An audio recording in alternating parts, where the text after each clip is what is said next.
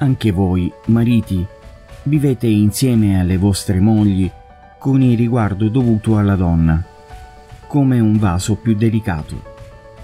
Onoratele, poiché anch'esse sono eredi con voi della grazia della vita, affinché le vostre preghiere non siano impedite. Prima lettera di Pietro, capitolo 3, versetto 7.